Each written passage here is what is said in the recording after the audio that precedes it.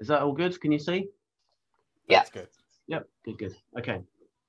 So it's interesting because this um my presentation I'm going to be talking about the MA Architectural Visualization program that we we created in 2010, and um and it it's, it builds on what we were just discussing there about um a, a- about what happens when you get to the end of an architecture degree um, and, and what options you have and um and Simon's right the options you have these days are very different to what they were um a good number of years ago so you know, similarly to Emma, um, I, I, I studied architecture in London, and um, I, I think I realised in my second year actually that I really enjoyed doing the computer graphics side of things and the the image creation rather than getting too too involved in the actual architectural design side of things. And uh, so that's the way my degree steered um, was steered really, and, and just about got through the architecture degree as a result of that. I think you know pretty pictures, but awful designs behind them, and um, and so that's what I concentrated on after leaving after leaving university. So I've worked well, pretty much after a couple of years, I went straight into education, just doing uh, technical support, um, helping people, helping students to do their working in. Uh, I think it was 3ds, 3ds 4 V V4 in DOS at that point, and um, and yeah, it's pretty pre- pretty uh, clunky work working with that, and uh, we're working with AutoCAD 12, I think it was release 12 at the time, and uh, and and then progressively, obviously, the tools have have, have progressed since then. Um, but what I've been conscious of all the since I've been in in education is is that having that opportunity and that avenue when you get to the end of a, a degree, any degree, but particularly an architectural degree, is that having options and knowing what those options are and what, what you can go into. And I think particularly, I think I certainly felt at 18, 19, 20, 21 years old, you feel that you, you know, you've just spent three years studying something. You think, what a waste of time that will be if I don't go and continue with that with that career. And what you don't really, I I think at that age, what you don't realize is that actually three years is just but a small part of your of your your eventual life. Well, hopefully, of your eventual life. And um, and and you know, moving into careers or moving into other disciplines is is you know the right thing to do if, if you're not happy in what you're doing. So in 2000, so we started the School of Architecture at Kent in 2005. So it's a really young School of Architecture, but in, after about five years, we started to look at our postgraduate provision. And I have to, I have, I think I should be upfront. I should declare that the person who taught Emma 3D Studio Max right at the beginning, apart from spline curves, was me, and uh, and a University of Kent alumnus. So um, um, one of the things that we pride ourselves on is allow the students to go off into whichever direction they want to go into. And I think there's a, I'm not sure if this is accurate or not, but there's a statistic I heard the other day that 8% of those students who start, start an architecture degree become a qualified architect. So that's a lot of students who then go on, maybe work in architecture. They may be a part two architecture student or, or or uh, uh, um, off, uh, architectural assistant and things like that. But it's you know it's quite a small number that actually go on to become qualified, fully qualified part three architects. So, but there's also a lot of other students that go off into other things. And so I wanted to create um, a, a, a postgraduate a master's program that will allow students to then really focus on what they want to do. And that was the visualization of the spaces that they were imagining up to that point and visualizing the and really sort of like being able to portray those those you know really well. So I've got some I've got some boring slides here. Um, this gives you a flavour of of what the course is like. So it's quite a varied course. It's it's not um, it. One of the things we've been careful to to maintain is it is a postgraduate academic course. It's not just a purely um, 3D Studio Max training course, a nuts and bolts skills course. There are there's an academic element to it as well. So the first, one of the first modules that you you undertake on the course is what is one about film and architecture, and that's a that's um uh, it's a, a, module which is all about um, studying how architecture is portrayed in in various genre of film, whether sci-fi or horror, film noir, and so on. But you're also understanding the the context of the work that you're creating or will be creating, the context that that's placed within within the, the film industry.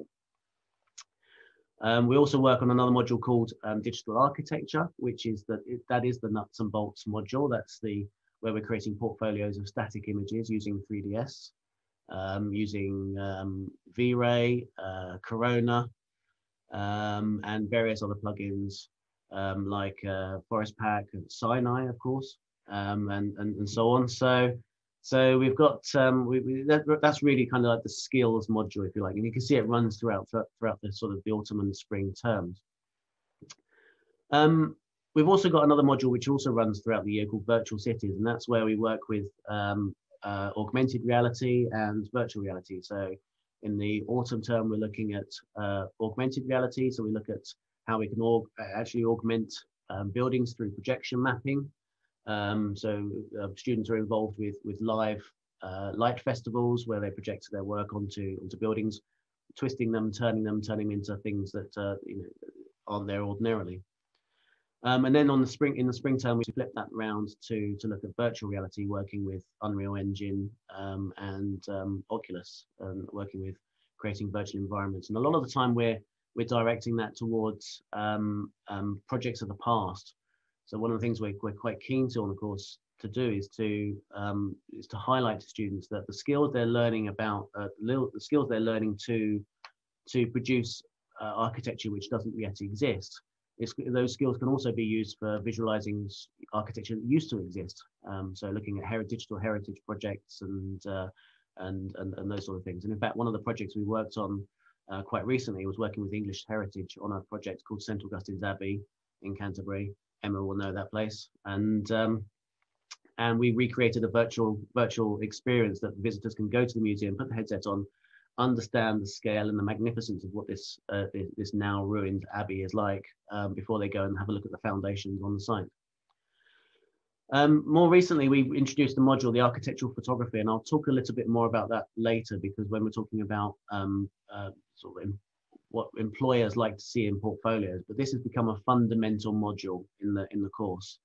And this is a this is a real um, away from the computer, back in the darkroom, uh, kind of module. So we're learning how to use, how to process films. We're learning how to, to work with cameras, working with um, depth of field, working with viewing angles, working with composition, um, processing film, processing paper, but also working with Photoshop and Lightroom and, and digital cameras as well. But it's also working, it's, it's really le le learning the fundamental principles about exposure, light control, uh, depth of field, lens length, all of the sort of fundamental control points of the camera of a physical camera and uh, which can then then be applied to their digital scenes and and their work in 3ds later on in the spring term we've then got some moving image um, modules which we get into high definition compositing which is where the students take their 3d 3d studio max scenes and put them into film or put film into their 3d studio max scenes uh, using nuke and then there's another module which where they, they learn the principles about film and video production learning all about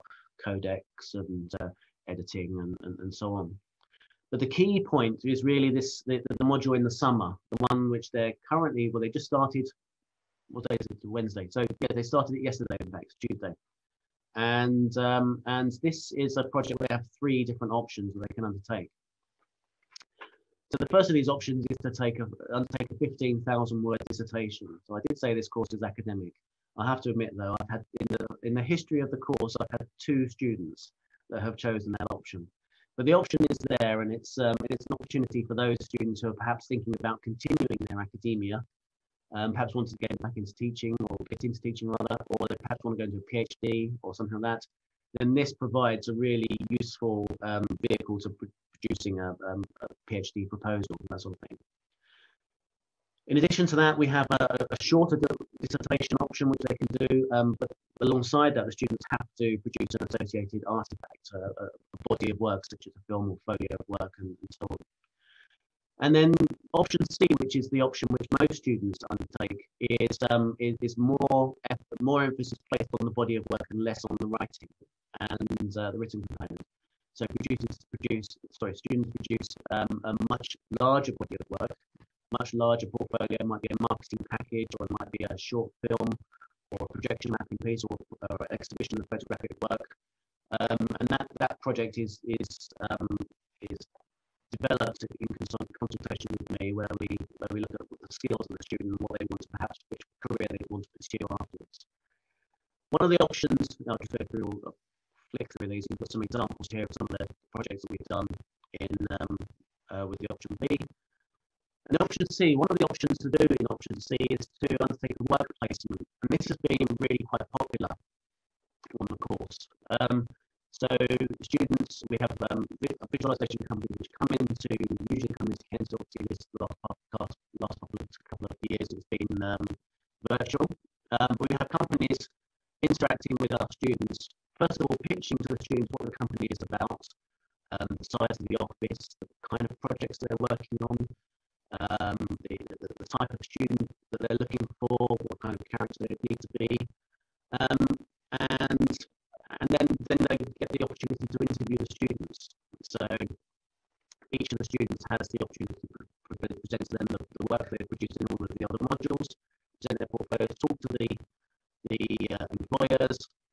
the employers can then choose whether they would like to take any of those students on for a work placement. So here are some of the companies that we've been working with this year uh, and in the past. Um, initially, we first started off with Cityscape. Actually, our first two students in our first year, back in 2000, well, it would have been 2011 at that point, um, they both went to go into work placement at Cityscape. And um, and since then, we've we've had close relationships with uh, Miller Hare and AVR London, um, and then more recently with, uh, Glass Canvas, and then more recently with um, Hayes Davidson and The Boundary, Patrick BMI. And, and this year we had 17 students, um, which is the most students we've ever had on the course. Most, most years we have around about 10 or 12 students on a master's course, and that's about you know, a good number, a good group of numbers to work with.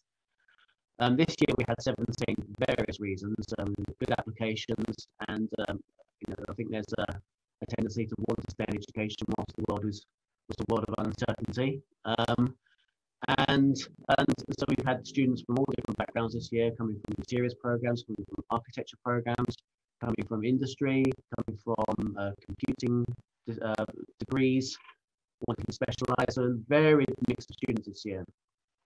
And a good number of those 17 students have now gone on starting, or will be starting in the next week or so, their work placements. Now, those work placements, as you can see, run all the way through to the end of August. And those students who have chosen not to do work placements um, and are doing dissertations or projects, films instead, will be working back at the university or in their, in their accommodation, working on their major projects and, and honing their skills. So during that process, I um, liaise with the companies, I liaise with the students, so I regularly keep in touch with the students and see how their work placements are going, keep in touch with employers to see how the students are doing, and then about halfway through the summer, I will then visit the company and have an interim review about how the work is progressing, how they're fitting into the studio, how they're adapting to, to the working environment.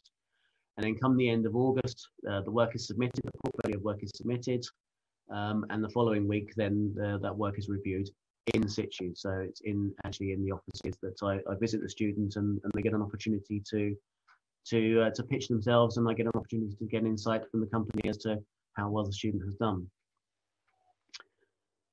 So if anyone's interested in, or in particular, if there are students who are interested in the course, the best thing to do is go to the website, which is kent.ac.uk, and um, and just go to um, look for the School of Architecture, or just do a search on the courses for architectural visualization. I believe I still, but so certainly when we created it, it was the only master's program in architectural visualization, and I believe it still is the only master's program in architectural visualization. So whilst there's a number of visualization programs out there which are short, short-term credit, short short-term study, uh, six-month study or six-week study programs, or there are other um, undergraduate programs, BA programs, and things like that, which um, uh, you know, much more general, generalistic uh, visualization programs, VFX programs, that sort of thing. I, as, I, as I said, I believe this is the only master's program to specialize in architectural visualization, um, not just in this country, but in the world. And um, so um, if that's not the case, please do, please do let me know and uh, I'll reappraise that. Um, but the best thing to do is if you are interested as a student to go and study this is to have a look at the website, go to the architectural visualization MA, or equally if you are an employer and, and you know, interested in, in perhaps interacting with with the students and taking on some of my students for placements, then you know by all means just use the website and use my contact details to be in touch. And uh, that's it. I hope that gives an insight to the program.